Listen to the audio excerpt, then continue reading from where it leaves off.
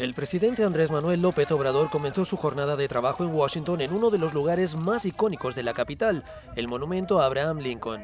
Allí le esperaba un grupo de simpatizantes que le mostró su apoyo. Otras de las paradas del presidente López Obrador fue aquí en el monumento al mexicano Benito Juárez. Aquí se vivieron escenas más tensas.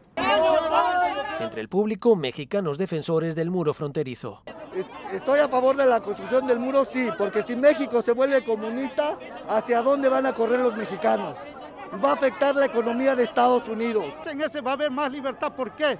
Porque entonces vamos a tener visa pero que vivamos bien. ¿Por qué? Porque Estados Unidos necesita la mano de obra de nosotros. Otros respaldaban una postura bien diferente y esperaban que en el encuentro en la Casa Blanca con Donald Trump, el líder mexicano defendiera a los inmigrantes. No solo como mexicanos, pero también inmigrantes centroamericanos, haitianos, de todos los países, este, que se pudiera reconocer nuestros derechos en este país, que se nos reconozca como personas. Tanto el gobierno mexicano como la Casa Blanca han enmarcado esta visita en la reciente entrada en vigor del renegociado acuerdo comercial entre Estados Unidos, México y Canadá. Sin embargo, el gran ausente fue el primer ministro canadiense Justin Trudeau, quien alegó incompatibilidad de agendas.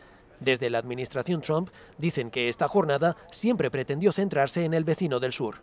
Hoy era, siempre fue el, propósito de tener una celebración en, lo que es esta histórica trayectoria entre los dos presidentes, presidente Trump y presidente López Obrador, una de las mejores relaciones bilaterales eh, que hemos tenido entre los Estados Unidos y México. López Obrador visitó la Casa Blanca en un momento crítico, cuando Trump se encuentra en plena campaña para su reelección en las elecciones de noviembre. Bricio Segovia, Voz de América, Washington.